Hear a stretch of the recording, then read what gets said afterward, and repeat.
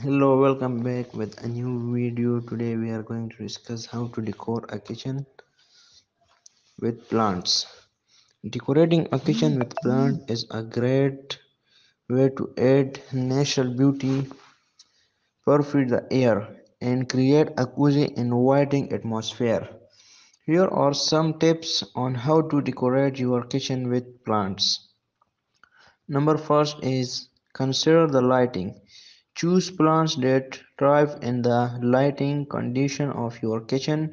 If your kitchen gets a lot of sunlight, you can choose plants like herbs, succulent or flowering plants that require full or partial sun. If your kitchen has low light, you can choose plants like snake plants, pothos or that can thrive in low light condition. Number two is choose the right plants. Some plants are better suited to a kitchen environment than others. For example, herbs like basil, parsley, and mint are great choice for a kitchen since they can be used in cooking and are often small and easy to care for. You can also choose plants like spider plants, peas, peace, lilies, and Boston ferns that are known for their air, air properties.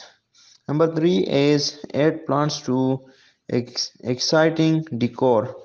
Incorporate plants into your exciting kitchen decor by placing them on shelves, window, no sills, or countertops you can use a decorative pots or or, plant, uh, or, pla or planters that complements your kitchen's color scheme and style. Number four is create a vertical garden. If you are short on counter space, you can create a vertical garden by hanging plants from the ceiling.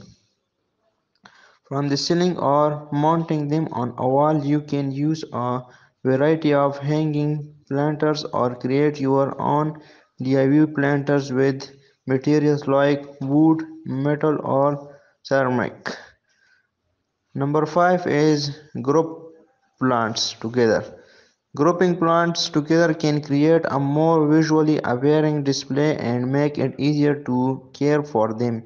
You can arrange plants of different sizes and shapes on a tray or in a decorative basket to create a cohesive look.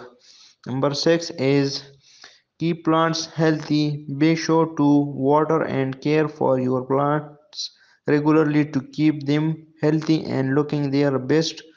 Follow the care instruction uh, for each plant and adjust the watering and free fertilizing as needed based on the environment in your kitchen. By following these tips, you can create a beautiful and healthy kitchen environment with the help of plants.